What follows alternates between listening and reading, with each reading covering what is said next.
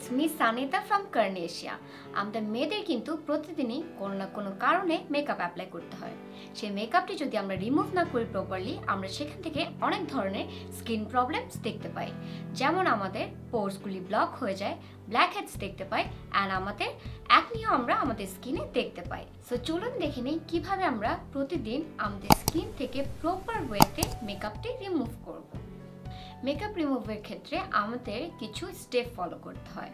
আমরা যদি কন্টেক্স পরে থাকি, আমাদের কন্টেক্সটি আগে রিমুভ করতে হবে অ্যান্ড আমরা যারা আইল্যাশ পরি, আমাদের আইল্যাশটি রিমুভ করতে হবে আগে।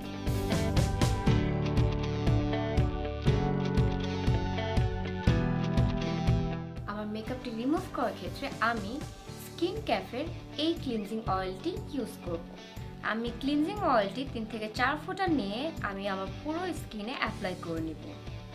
আমি আমার হাত দিয়ে জেন্টলি স্কিনে সার্কুলার মোশনে মাসাজ করব ওয়ান টু টু মিনিটস আমি এখন একটি ফেস ওয়াইপসের সাহায্যে আমি আমার স্কিনটি ক্লিন করব।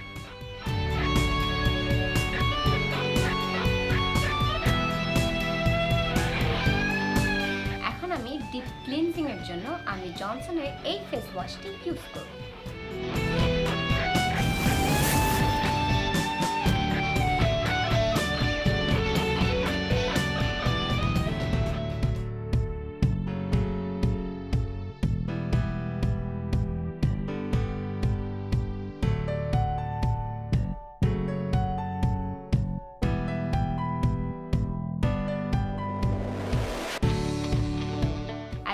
গাইস ক্যান সি, আমার স্কিনটি কিন্তু এখন পুরোপুরি ক্লিন আমার স্কিনটি যেন এখন হাইড্রেট থাকে, সেক্ষেত্রে আমি এখন একটি ময়শ্চারাইজার ইউজ করব। আমি লরিয়ালের এই ময়শ্চারাইজারটি ইউজ করব।